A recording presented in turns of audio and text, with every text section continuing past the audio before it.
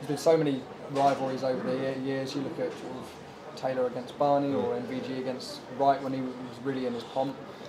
Maybe been a bit of heat to the rivalries. Mm. Yourself and Luke, it's very, very different. You saw yesterday the, the fist pumps after the big finishes, smiling going off at the break.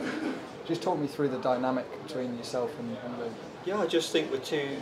I mean, I'm not as young as Luke, but we're two young lads at a sport where we're at the top of it. Kind of, you kind of can't not enjoy that. You know, it's. Uh, we're two players that just get along. We get along well, and we, we enjoy playing each other. It's always exciting for the fans when we do, and you know I just think that kind of thing it allows you to relax and have fun. And uh, you know I know that the rivalries back in the day used to be more fierce and that, but I haven't got it in me. I don't, I don't want the you know the animosity. I just you know I don't think Luke does either. We just want to get along with our business and, and, and give the fans what they want a great game. So uh, you know of course when we play each other we want to beat each other more than ever, but. Uh, you know, there is that that um, element of enjoyment and, and, respect between each other because we kind of come through at the same time. I know I was maybe four or five months before in winning what I was doing, but we're kind of coming through together at the same time. We're just looking at it like this is great. You know, we hopefully keep riding out for the next ten years, and uh, it'd be exciting.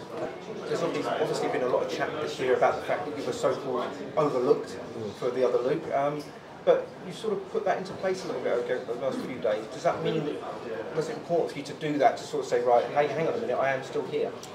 Yeah, I mean, I don't see myself overlooked as much. I think that, but just because Luke's got a bigger following, um, he's a bigger media star than myself, he's going to get more headlines, more writings, which is, you know, it's going to happen, is it? He's going to have more people liking posts and commenting on posts because he's got more fans than I have. So you know, I don't think in, in a proper dart fan's eyes or proper journalist's eyes I, I would be overlooked. I just think when you've got a bigger following, you're a bigger superstar in someone.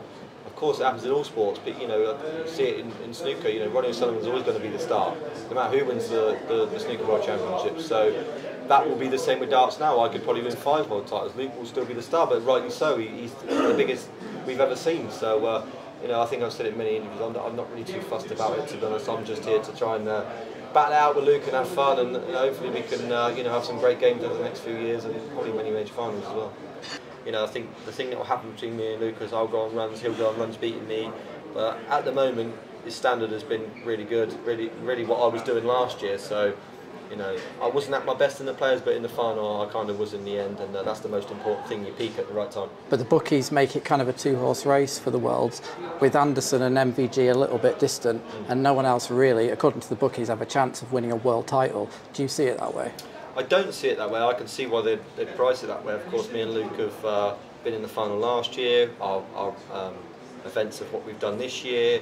Um, you know, Gary's always a threat. Michael's always a threat anybody outside that, you, you know, you, you, have to create higher odds to, to want the punter to bet on it. But uh, anybody can win a world title, but it takes a different mentality to do it. Um, yeah.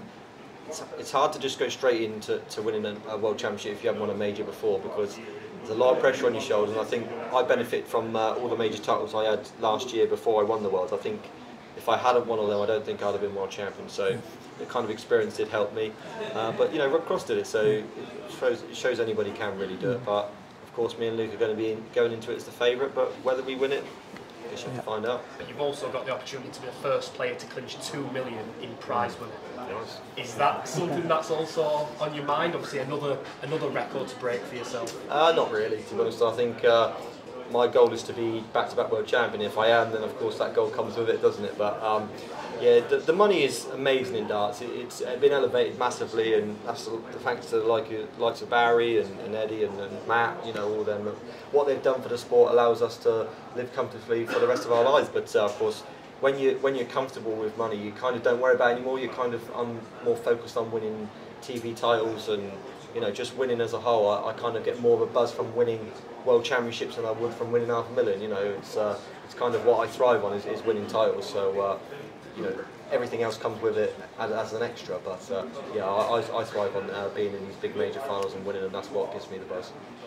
Um, you say the money's great in darts, but you and Luke have taken about two and a half million between you. You're not leaving much for everyone else. No, just leave a few scrap. uh, you know, yeah, we've um, undoubtedly been the two top players this year. Um, I think I see a stat, yeah, yesterday something about how much we both picked up, and 17, 18, I think it's 17 titles between us. So it's up to the other players to, to you know to, to get better maybe and, and match us. They can.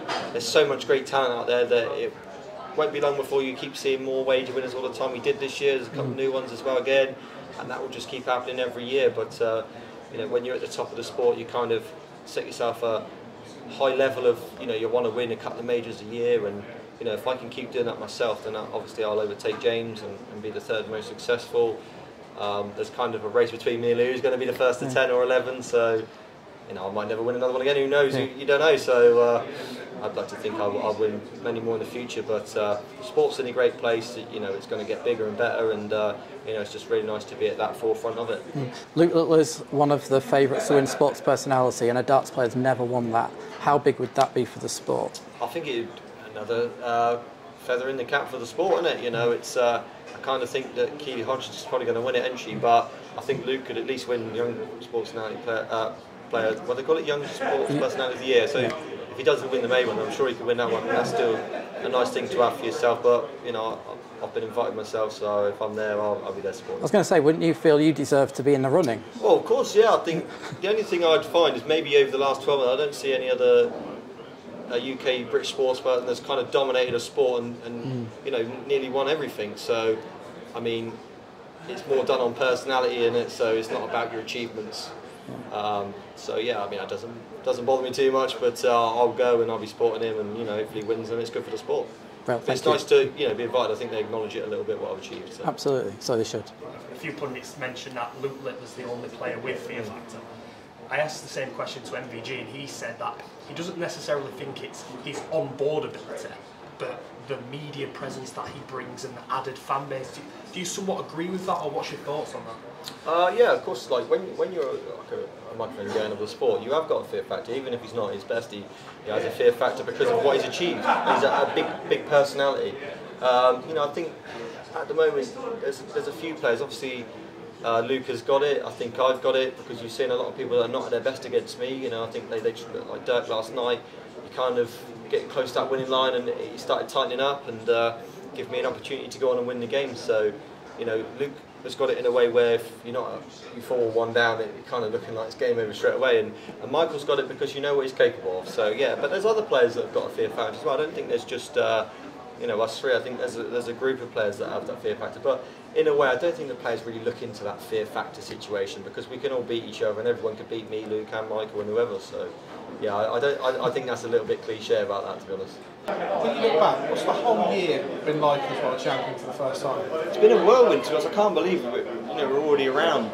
You know, it's gone so quick, and uh, you kind of lose track on you know all the things you've achieved and amount of finals I've been involved in. So you know, as I stand in now, it's, it's been a massive achievement for me this year. I think it's been a success.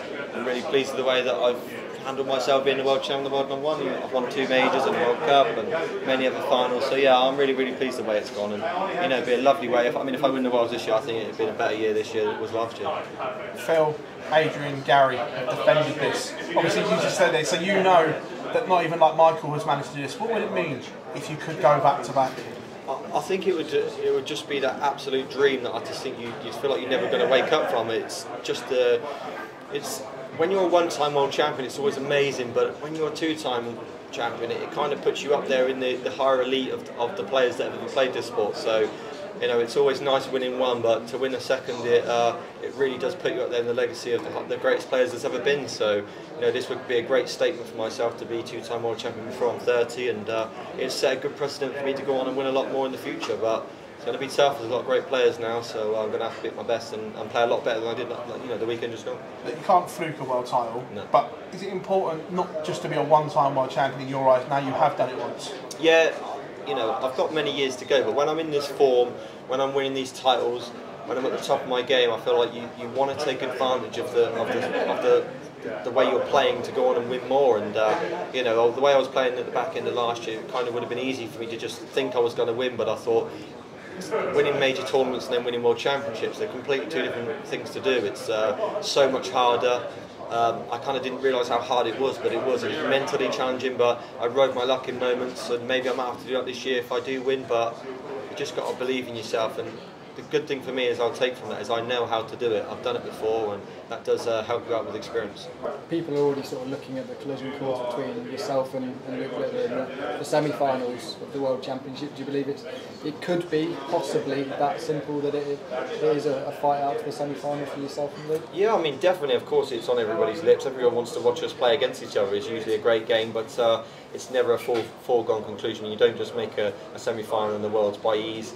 I think if you look at um, the draw brackets, they're not easy. You know, there's a couple of legends in my one, Barney and, and James Wade, and I think Mike is in my half maybe, and Stephen Bunting. You know, so that's that's to get to the semi. So yeah, I'm not going to be doing it by luck. It's going to have to be by pure grit, determination, and good performances. And uh, you know, I think Luke would be the same. Obviously, everyone wants to see it, of course, but uh, you know, it's not as easy as, as, it, as it was this weekend just gone. I think Luke was the better player of the weekend, but I managed to, to play my best at the right time.